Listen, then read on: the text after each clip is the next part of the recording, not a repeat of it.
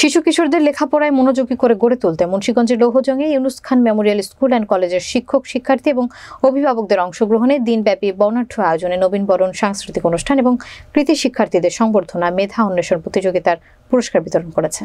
বিস্তারিত থাকছে লৌহজং প্রতিনিধি শৌকত হোসেনের তথ্যচিত্রে। মঙ্গলবার সকাল সাড়ে দশটা থেকে বিকেল তিনটা পর্যন্ত উপজেলার গাউদিয়া ইউনিয়নের শামুরবাড়ি এলাকায় Yunus Khan memorial school and college প্রাঙ্গণে এই আয়োজন অনুষ্ঠিত হয়।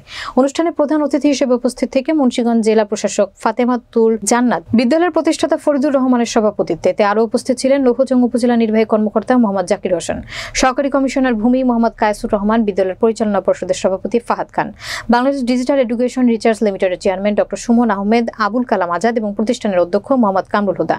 ম্যানেজিং কমিটির সদস্য আসিফ খান সহ স্থানীয় নানা শ্রেণি পেশার মানুষ। পরে অনুষ্ঠান শেষে মেধাবী কৃতি শিক্ষার্থীদের হাতে তুলে দেওয়া হয় সংবর্ধনা। এছাড়া মেধা অন্বেষণ প্রতিযোগিতায় সাংস্কৃতিক প্রতিযোগিতার মাঝে পুরস্কার বিতরণ করা হয়। আজকের এই অনুষ্ঠানটাতে আসতে পেরে আমার খুব ভালো লাগছে। এই স্কুলটাতে আমাকে আসতে আমন্ত্রণ জানানো হয়েছিল। আমি প্রিন্সিপাল মহোদয়ের কাছ থেকে স্কুলের বিষয়ে অনেক কিছু শুনেছিলাম। তো শোনার পর আমার ভালো লেগেছে এবং আজকে এসে চাক্ষুষ দেখতে পেলাম।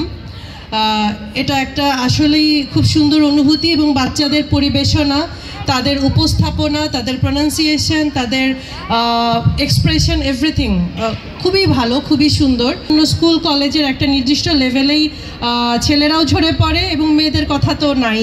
তারাও খুব মানে এসএসসি লেভেলটাও ক্রস করে না একটা বড় পার্ট তো সেখানে গিয়ে আসলে আমাদেরকে যেই কথাগুলো বলতে হয়, যে মোটিভেশনাল কথাগুলো, কিন্তু এখানে আমি যেভাবে দেখলাম যে একটা কমপ্লিট একটা সিটিজেন গড়ে তোলার জন্য যে ইনিশিয়েটিভগুলো সেগুলো নেওয়া হচ্ছে।